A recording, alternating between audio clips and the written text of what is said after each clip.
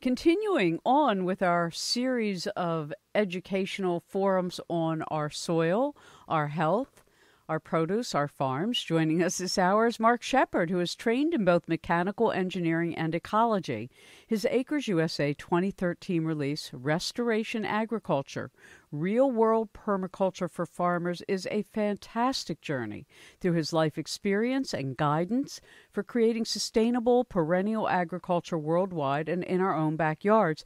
Also, it is worth mentioning that I learned something quite fascinating from just reading the back jacket of his book that human cultures have only relied upon annual plant seeds as a staple food crop for 10,000 years. I'd never really thought about it but from my own writing on the white spirit animals whose legacies are from that time period especially, we are talking about since the ending of the last ice age, and that every single human society that has relied on annual crops as staple foods has collapsed. But as Shepard demonstrates at his 160, 106 acre commercial scale perennial agriculture ecosystem farm, you can create systems that imitate nature in form and function through cultivating and supporting natural perennial ecosystems such as hazelnut, gooseberry, raspberry bushes, grapes, apple trees, etc.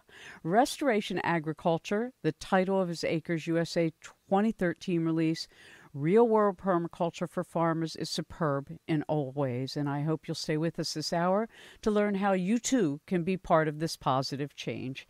Thank you, Mark, for joining us.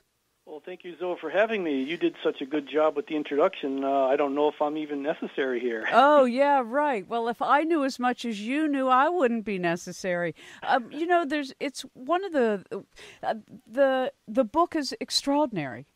I, I have read thousands and thousands of books. And so when I come across one that is, oh my gosh, somebody could take this book and really learn how to do what you're talking about and see that it's doable, what a perfect inspiration. So let's start where I did with this 10,000 years ago when the waters were plenty and the green was abundant.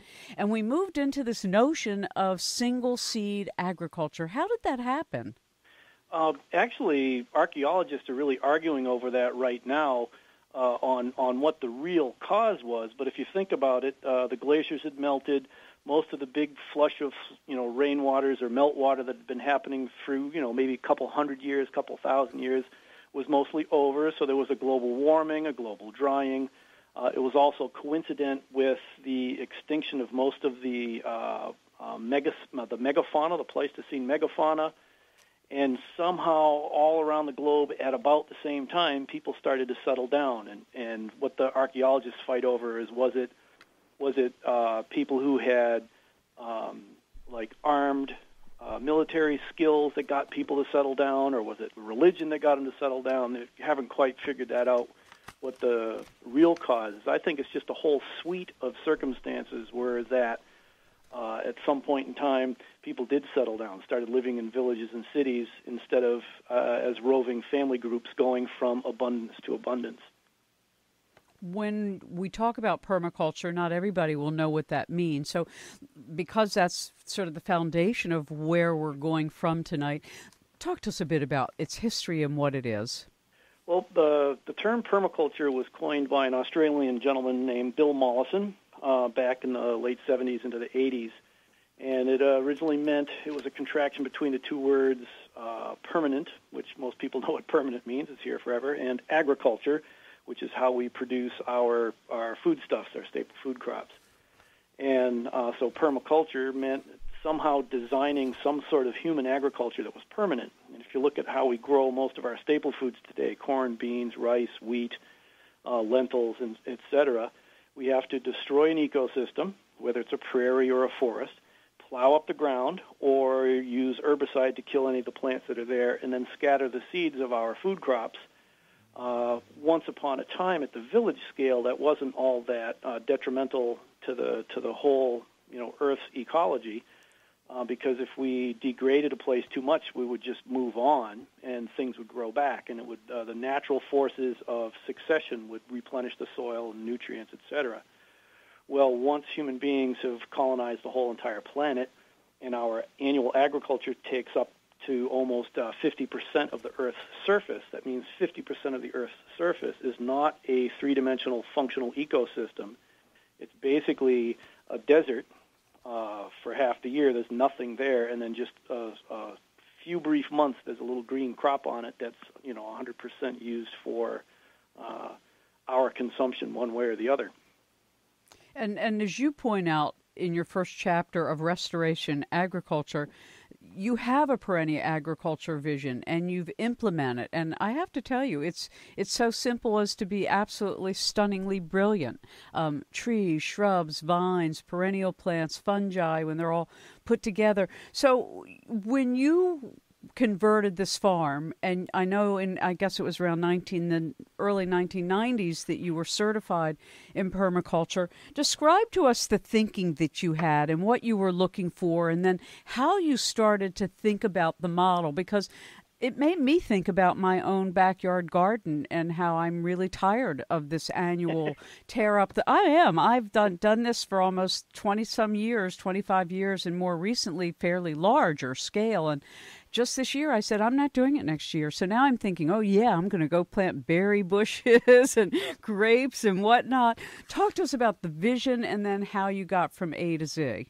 Well, kind of how how we got around to the farm scale side of things is I had taken a permaculture design course and had started teaching like individual segments at permaculture design courses. Was reading the literature and the buzz at the time was that, well, with permaculture, we'll grow all of our food in, all, in our front yards and we won't need farms anymore. Right. And that was always said as we sat down to a bowl of beans and rice or some other sort of, uh, you know, staple food uh, that was grown on an annual plant.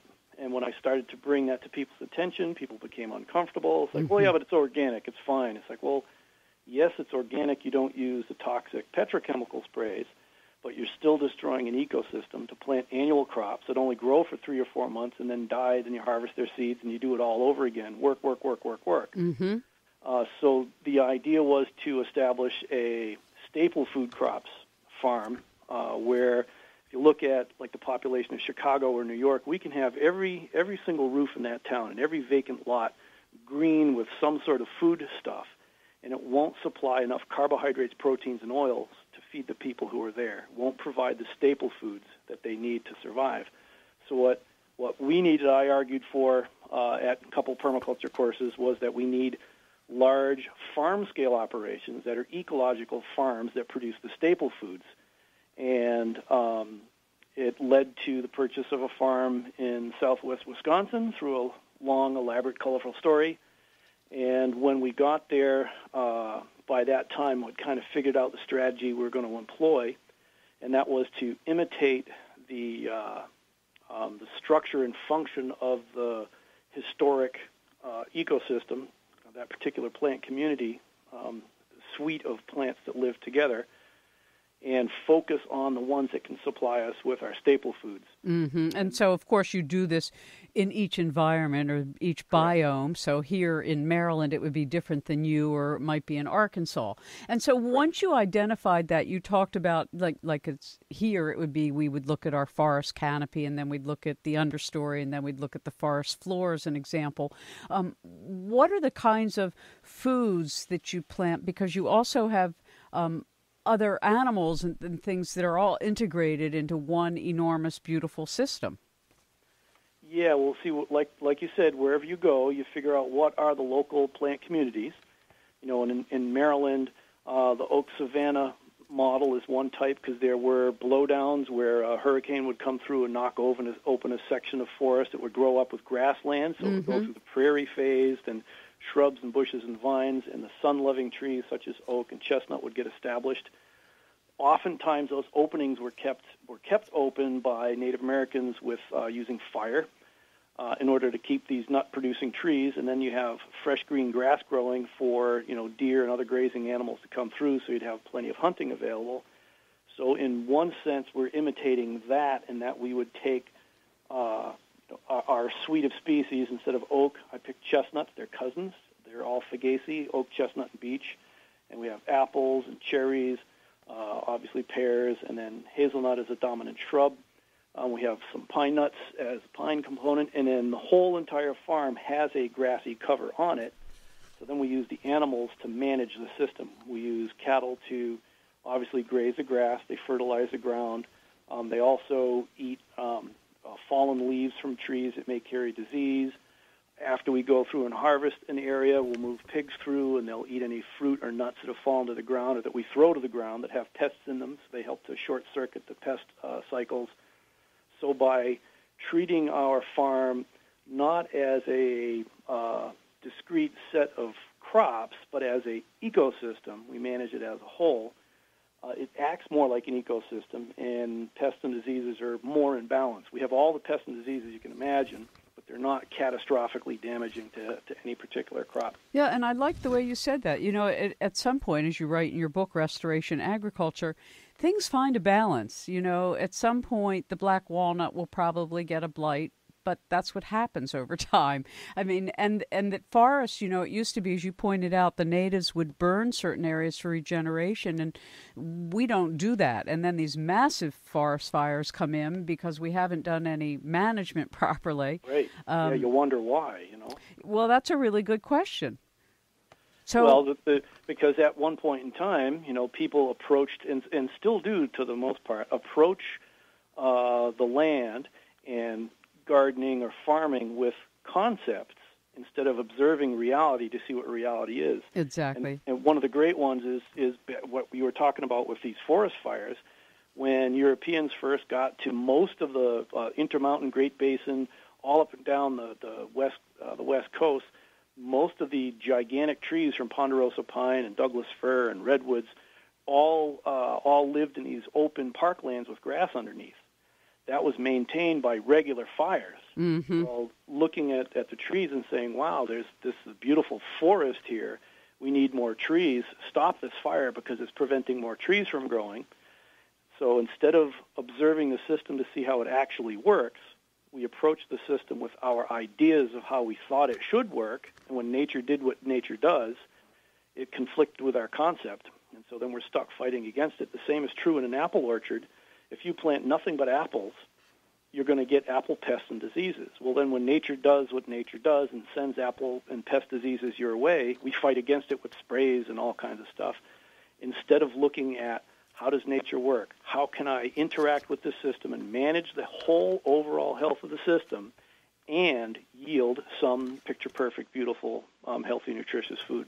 Exactly. One, one of the things um, we've talked about a lot on the show, and maybe we'll talk about it again this hour, but maybe not, uh, are GMOs and this horrible thing of warfare defoliants and insertions in Roundup Ready soybeans, etc. And now that I've said that, I do want you to say something to that point. Joel Salatin was with us earlier, and we talked a I bit about I know it. whose team you're on. yours, thank God, I'm on yours. so, from your vantage point, what is the problem with this? Well, other than the fact that it's extraordinarily toxic, uh, you know, like deadly toxic, carcinogenic, and all that kind of stuff. And when we're when we're inserting genes across species, things that have never been there before, like arrowhead flounder in a, in a tomato and so on, uh, we have no idea of the long-term downstream through time consequences. For one, well, then on the other, it doesn't really pay. I just last week um, I read some the latest USDA figures, and I, I don't remember the numbers exactly. I apologize. Somebody can look it up. But it was like the cost of production for a bushel of corn was like four dollars and eighty cents per bushel. It's what it costs a farmer to grow corn. Selling price was like three and a quarter. Mm. Mm. So that means for every bushel of corn that they're growing, this farmer is losing, you know, a buck fifty plus per bushel. That's times two hundred. They're losing two hundred, three hundred bucks an acre. Wow. Um, and so, of course, the federal government has to come and and come up with creative names. This is actually a crop insurance program. It's not a you know it's not a subsidy. Well, for crying out loud, it's a subsidy. Right. Um, it doesn't work economically on the ground. It doesn't work ecologically because we have to destroy a perennial ecosystem, and it doesn't work economically for the farmer. So why are we even doing it at all? Right. One way, one reason why we're doing it is farmers are stuck there. And if you just look at your own personal household economy, mm-hmm. if you bought a home, you are stuck with those payments until you either pay it off or sell your place and retire the debt through revenues of sales. Well, if, if your house went down and you're underwater, you can't sell that at a profit and you still owe money. You're, you know the farmer is in the same situation as a homeowner underwater is. How do you get out? Mm-hmm. So that's part of the tricks of, of what I do is to help people to look at the economics differently and then how to start farming it differently in order to uh, not bury yourself financially. Yeah, well, it's it's beautifully done, and I'm just so grateful that Acres USA has published Restoration Agriculture, Real World Permaculture for Farmers. You can learn more at www.restorationag.com and also forestag.com, and we'll be right back with our guest Mark Shepard. This is Ken Roseboro, editor of the Organic and Non-GMO Report at www.nongmoreport.com, and you're listening to 21st Century Radio with Dr. Zohara Hieronimus. This beautiful book, and you will really be able to take it home and think about what fruit bushes you're going to plant next year or what chestnut tree you're going to put in your backyard. So I want to come to back to permaculture for a moment because one of the beautiful things that you and others, Mark, have shown by creating your own farm that is solar powered, and you know, we'll talk about that. Um, is that basically it's about taking some responsibility, asking ourselves the right questions, but permaculture has an ethical basis. And, and I'd like if you would take a moment to just sort of tease that out for us, because I think it's a really important foundation. Yeah, I, I, that's actually one of the things that attracts me to permaculture is that being based on an ethic. It's not like a cookie cutter approach do A, do B, do C, do D. It's based on a set of ethics. And whenever you have a discussion about ethics, it's exactly that. It's a discussion. A whole bunch of us have to sit around and, and, and figure out what this, this common uh, core set of values are. And in permaculture, there's like the big three. One is earth care, is uh, as human beings, we have a responsibility to take care of this planet Because if we don't take care of this planet, it's not going to take care of us, and, and we live that every single day. The second one is people care, is if we don't take care of people, you know, all of the people around us, they're going to get pretty ornery, and sometimes they can get violent, and that can cause problems within societies. The third one is one that uh, I think is the most fascinating within permaculture circles.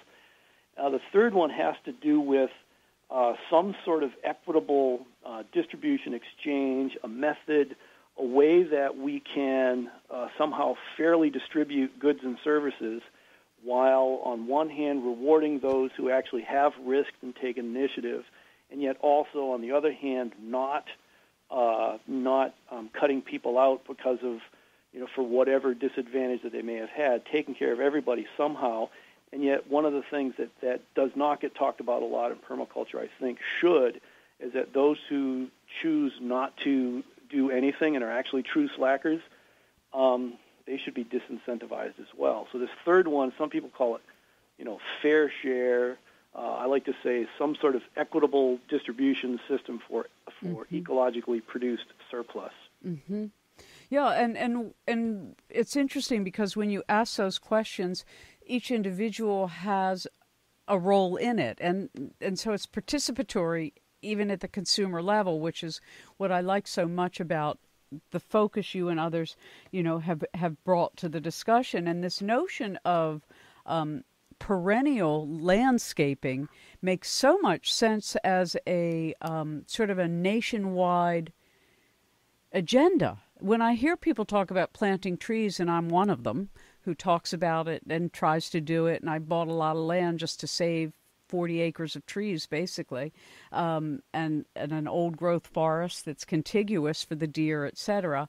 Um, how would that work, and how do you envision it? If, if, because not everybody's going to have a farm, but there are things we could be doing in our cities and around the world that I think it was Corsica where you were that you show they have such a beautiful ecology.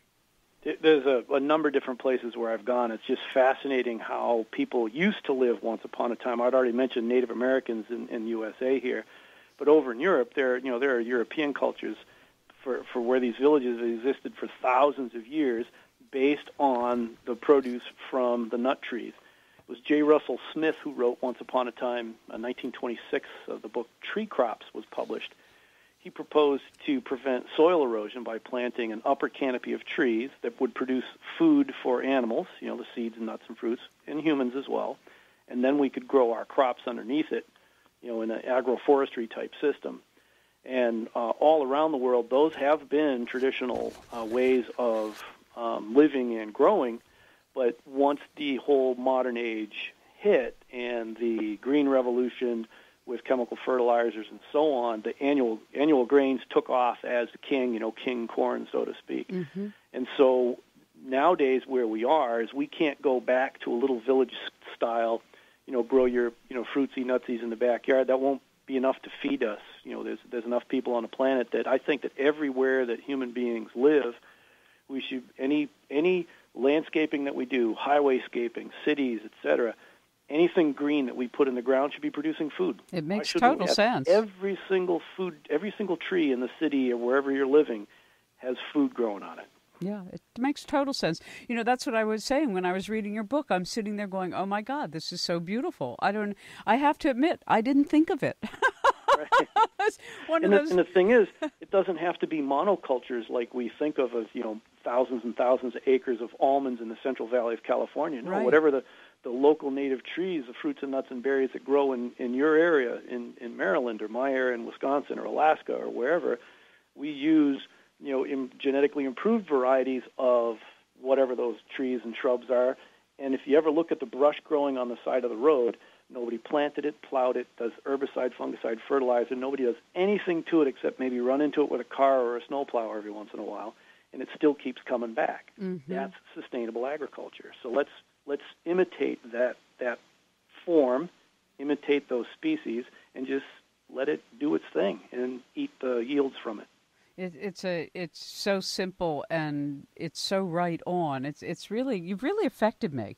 I have to say that. I mean I've I have been you know a big biodynamic farm supporter, an ecological environmentalist, and all good things that people associate with the quote unquote left, but I'm actually a libertarian, actually registered. Um, and and the thing that strikes me so much about what you've done is that it's not a bunch of words. I mean, you've lived it, you've shown it. How long did it take you to convert this row crop, grain crop farm into what you now have?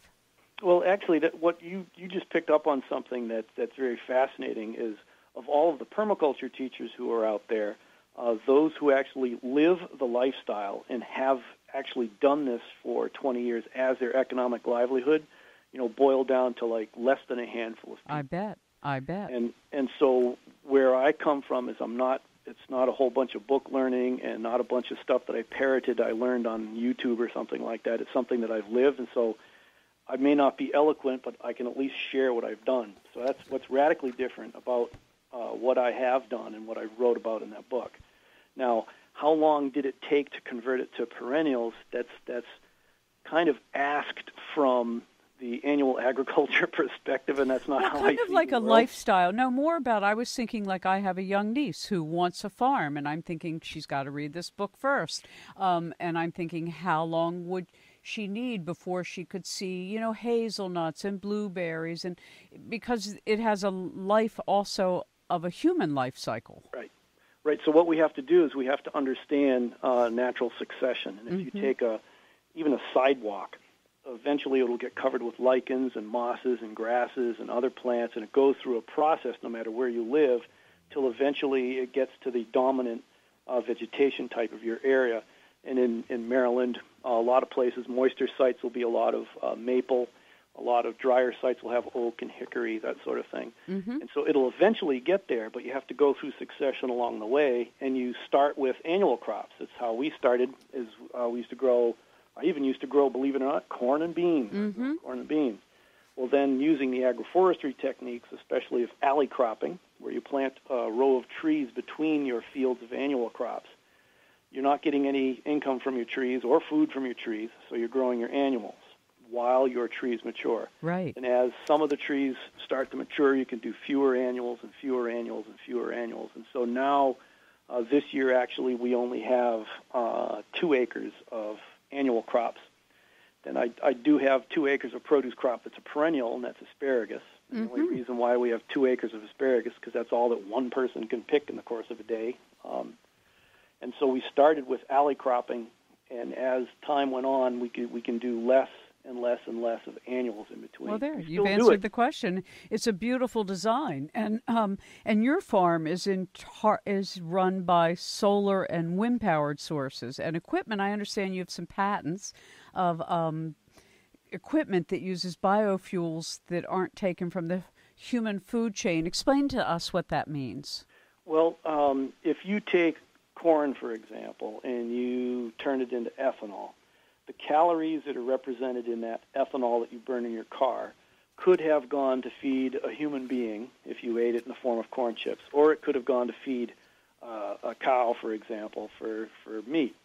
Um, that's taking calories from the human food chain. Well, when growing um, uh, oil crops, that are then pressed for oil that are sold to a potato chip company, for example, then the potato chip company uses the oil to fry potato chips. So Mhm. it's now being used to cook human food, if you call potato chips food. Uh, maybe they're certified organic uh, sweet potato chips.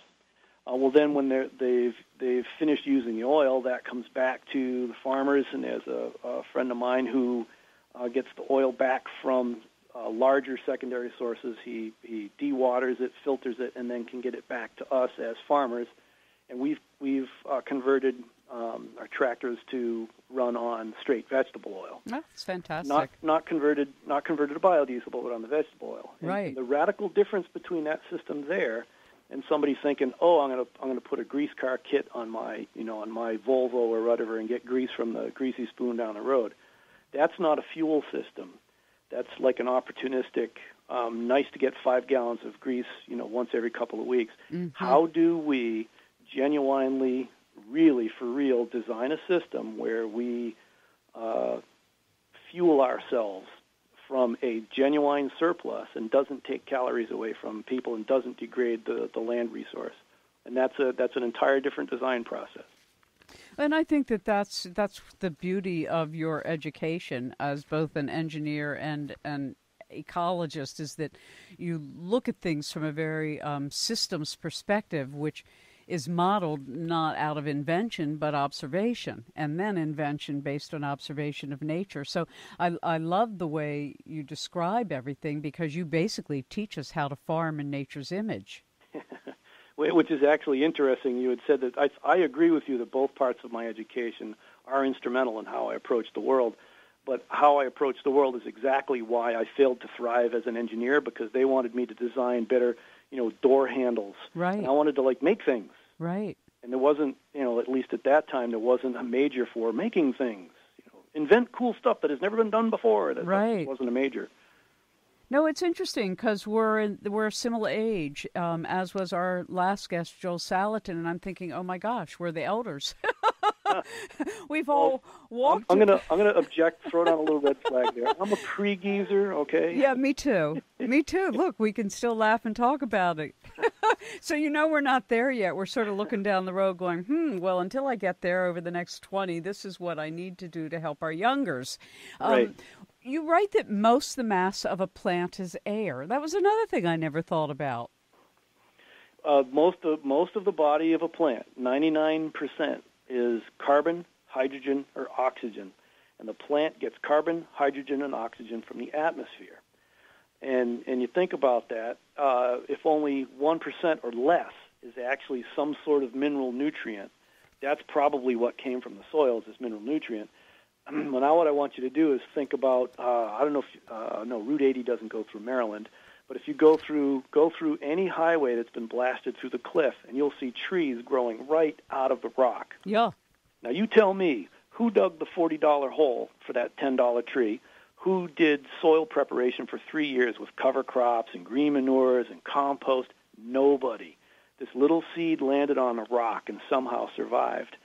Um, and did you know that if you're just talking about like the forest around you in Maryland, there, no matter where you look, that forest can get everything that it needs right out of the air, provided that you don't cut it any any sooner than 60 years, because it takes about that long for the for the plant to like kind of get into a balance with the the nutrient cycles uh, in the soil. Mm-hmm. And so if, if we're cutting at a faster rotation than 60 years, we will be depleting the soil. But if we go longer than 60 years, we don't need fertilizers. Nature takes care of that. That's that's my whole point. It's like when you f- you think about this rock in the middle of Lake Superior. Eventually, like I said, the mosses and the lichens and grasses, it turns into a forest. Where did the soil come from? The ecological, biological systems created the soil. Well, now we go into agriculture. We cut down the we cut down the biological system. We plow up the ground. We expose it to oxygen. The sun irradiates it. The water washes it away, and soil gets depleted year after year after year after year nature creates rich, healthy, diverse soil. Agriculture destroys it. So we need to redesign our agriculture to follow the same rules that nature does and learn how to interact with it and not uh, not degrade the resource base. Exactly, and of course that's that's the whole issue worldwide in almost any domain we point to. Either we treat life with reverence in partnership, or we continue to treat it like an exploitable commodity that is endless, which it's not, and we can all see the devastation it's creating worldwide. One of the things you obviously talk about, and I've also done some programming on, we're going to take a break, but when we come back, I want to talk about the importance of bees and how everybody in the audience can really make a difference. If you're just joining us, our guest is Mark Shepard. His book, Restoration Agriculture Real World Permaculture for Farmers. If you, like me, have really wanted to be part of the positive transformation of our planet, and our local environment, read this book. Uh, there are things you can do, which I'm going to be doing. I do have blueberry bushes and raspberry bushes, but now they're going where some of my other annual seed foods went instead because they got the best sun. So we're going to have a little experiment on Dogwood Farm, and I'll report in. Hi, this is Ruth Berlin. I'm the Executive Director of the Maryland Pesticide Network. We're a coalition of 25 organizations in the state concerned about the impact on pesticides on your health and our environment. Learn more about our work on our website at mdpestnet.org, mdpestnet.org. You are listening to 21st Century Radio with Dr. Zohara Hieronimus. Welcome back to 21st Century Radio. Mark Shepard is our guest. His recent 2013 Acres USA release, Restoration Agriculture Real World Permaculture for Farmers. Learn more at www.restorationag.com and www.forestag.com. So, Mark, as a founder of Restoration Agriculture International and your new forest farm, which is a 106 acre perennial agricultural savanna, I have read that it is considered by many to be one of the most ambitious sustainable agricultural projects in the United States. Um, and the vision is so, um, what's the right word? Simple. So, how are, like, how do extension services and governments and counties, when they hear this, how wonderful this could be, how do they react? Uh, that's fascinating, and I think a lot of how how they react uh, depends on their own, you know, internal, you know, pre-programming through education and so on. Mm-hmm. There are some people that just immediately, right off the bat, immediately, you know, hate and despise what's going on. It's totally wrong, misguided, et cetera, et cetera and other people, you know, other people say, "Wow, it's a pretty cool idea." There's a whole spectrum, you know, in between as well. And so, what has happened is through time, as as people have seen that, hey, you know, this is actually working. Mm-hmm. Um, they look at it, and when they realize that so many of the other farmers that they work with, that their systems aren't working, you know, nowadays more than ever, uh, extension folks and educators are looking for systems that work and nature actually works. And what's fascinating about nature is nature has never spent a penny on any input whatsoever, and it's created the rich and abundant, you know, ecosystems that we inhabited and our, you know, our ancestors inhabited. So why not imitate that? It's a rather affordable way to to uh, create abundance. Yeah, not no question about elevate what already works, right. um, and integrate ourselves into the model rather than trying to make everything fit to our will, which is certainly not up to the creator's brilliance. Um, bees, I want to come back to bees. I've spent a lot of time, um, you know, on this program with those who are really trying to solve the problem and make sure, like in Sweden, where they've planted bee highways of plants in all of their um, roadways that support the bee and butterfly migration, which I went, now that's a simple solution too, just like yours. It really is. You know, creating habitat connectivity, no matter what the creatures are, is really, really helpful. And I find it fascinating you mentioned Sweden first and not North America, South America, because one of the things that I did want to bring up is when it comes to the pollinator conversation, uh, uh, so much even of what I think of like the good guys uh, are dogmatic adherence to little snap phrases instead of an actual thinking about what's going on here and what the bigger picture is, mm-hmm. which is it's classic. It's it's how our whole education system works. It's all reductionist. You know, what's the one true thing that'll make it work? Right, exactly. Here's a, here's a fascinating tidbit. Did you know that that um, there are no colony nesting bees that are native to the Western Hemisphere? Honeybees aren't native to the Western Hemisphere. They don't belong here. This whole North and South America did just fine without them for Zillenia. No, I didn't know that. See, so you are my teacher. Totally, they're totally unnecessary. However, pollinators are. And there's a whole host of, of different insects that do the pollinating here, including types of bees. But the types of bees in the Western Hemisphere are not colony forming bees. Mm-hmm. They do onesie twosies, you know, here and there. They tunnel into holes in the wood or make holes in the mud and stuff like that. Uh, and they need habitat. So by eradicating a rich, diverse ecosystem to plant beans, for example, all of a sudden we have a, a crop that now requires pollinating insects. We have no habitat for pollinators, so we bring in the honeybees. Same thing with almonds. Um, if we have a rich, diverse, three-dimensional ecosystem, uh, we will have habitat for pollinators and not necessarily the honeybees. The honeybees uh, could disappear on my farm, and it wouldn't matter. That's so fascinating. No, I did not know that.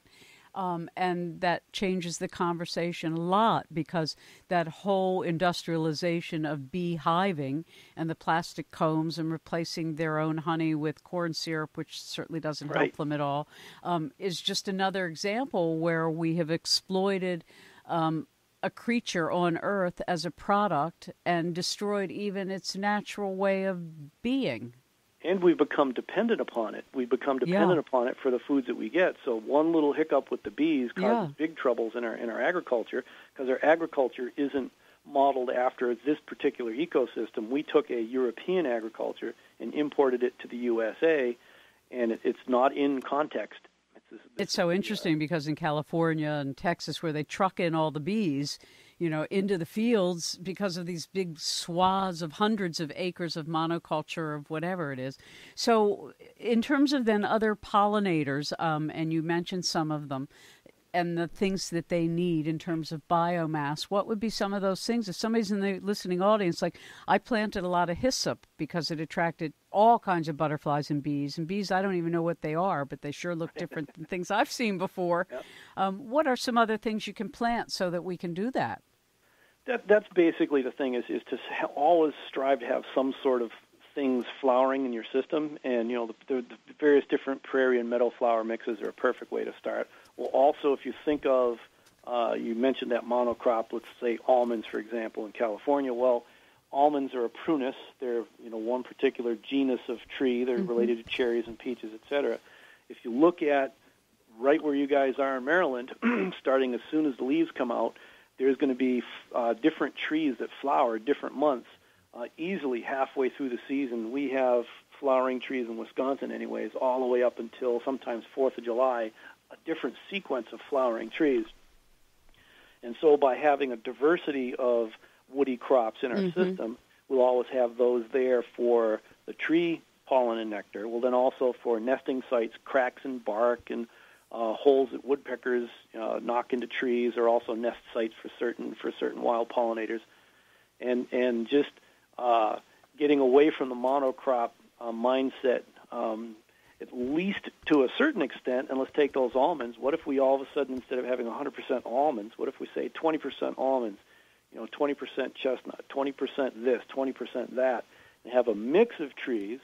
Automatically, your risk is lessened because if you have a catastrophic freeze when the almonds are blooming, mm-hmm. you don't lose 100% of everything. You'll still have possibly peaches, or you'll still have you know pears or whatever else is in there. Are, are you of the practice of pruning fruit trees and shrubs or letting them just sort of tangle and mangle and do their thing? Well, I'm kind of on a little bit of both. Uh, I grew up in apple country, of a mile and a half up the road from where Johnny Appleseed was born in Massachusetts. And my grandfather figure wasn't my biological grandfather. He was once upon a time a cider um, uh, apple orchardist, and what cider was back when he got started was an alcoholic beverage. Mm-hmm. And and what they did was a minimal pruning. And he told me that you want to remove enough branches so that a, a blue jay can fly through and not hit its wings, but you don't want to remove so much that you could throw a cat through and it would it would miss. Well, that's so an you- easy way to remember.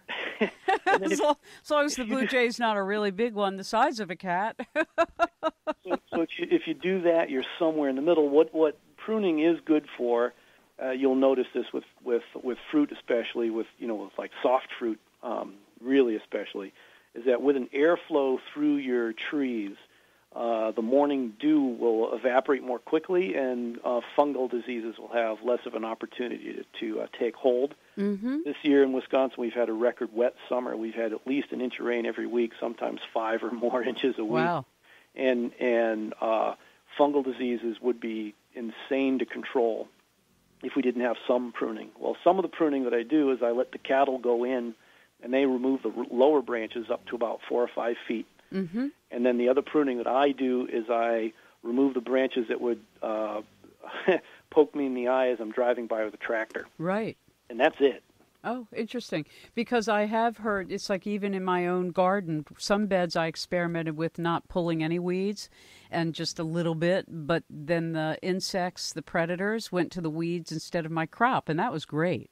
I mean, it's just growing from ourselves, our family. It's not Sure. like I'm have a, a big stand or I have a business, but I have experimented, and and it's really true that if you do just a little, and even if it's just on your balcony or in your uh, by your back kitchen door, ladies and gentlemen. If you have never grown something, do it. Even if it's going to the store and buying a store bought tomato, put it in a container and grow it and grow your own tomatoes, and you will find a different kind of reverence and um, joyous appreciation for what we have, but also maybe perhaps a deeper concern for what we're losing. So we have just a few minutes left, Mark, and there's so many things you're so versed in we haven't touched on give us your big picture of where we're going um, and the things that concern you that perhaps all of us can make a difference about. Well, the, the big picture of where we're going, and it actually is happening and, and increasing uh, in speed planet wide. Where we're going is we are uh, making a small change from uh, an annual crops destroy an ecosystem to plant a few hard seeds for our sustenance to a more perennialized, integrated uh, ecosystem type farming, more ecological farming. Uh, that's happening worldwide, uh, and it's actually happening mostly with um, smaller scale farmers first, Mm-hmm. and then the larger the larger operators are following along because they realize that long term it makes sense to be having a perennialized system because you don't have to have all these current annual expenses occur over and over and over again. And just I the labor, by God, and the expense of the labor if you have to hire labor. And, and what I what I see is is making just one small change, and wherever you live on planet Earth, let's take the annual cropland in that area and make one small change and convert it back towards a mimic of the natural systems that were there when Europeans first got here. Mm-hmm. It'll still be producing our annual crops in, in our in our fields for us, and it will be producing these perennial crops, uh, trees, shrubs, bushes, vines, fungus, animals. Uh, along with it, the system will come into more balance. We're taking carbon out of the air, building soil, cleaning up the groundwater. Uh, one small change: let's turn our annual crop fields gradually back into a mimic of the ecosystems that they were. That's beautifully stated. Now, if it should be so easy for it to happen, may it? You know, you never know. And I think that's the beautiful thing. And I want to thank Acres USA for publishing your book because I've read a lot of books, as I said, and I've been on this beat a very long time. And there is nothing, truly nothing like your book in the market. Yay, good. No, it's it's very true. You know, it's it's one thing to have knowledge from studying or going to people's farms and learning. Like I'm an interviewer, so I've learned a great deal in so many fields. But when you listen to somebody who has lived what they've written about, it's a totally different kind of um, teaching. Good. I'm glad you noticed that. And one of the things that I find fascinating, back to the big picture, if if one family can do this yeah. in 15 years, uh, that means that if every one family does this in 15 years, we can completely revegetate the planet in 15 years at a profit. Mm-hmm. And that's a true story. And well, it's, it's all just... of us to start thinking about how do we do that. And now let's let's let's get to work. Well, I want to thank you again and encourage our audience to follow up with you, firstly, by buying a copy of your wonderful book, Restoration Agriculture Real World Permaculture for Farmers. It's an Acres USA 2013 release. Online, www.restorationag.com and www.forestag.com. And one more thank you to Fred Walters and everybody at acresusa.com. And God bless you, Mark. May your garden and your farm flourish. 21st Century Radio is produced by Hieronimus and Company. Our executive producer and research assistant is Laura Kortner. Our engineer is Noah Dankner. I'm Dr. Zohar Hieronimus, and we hope you enjoyed the show.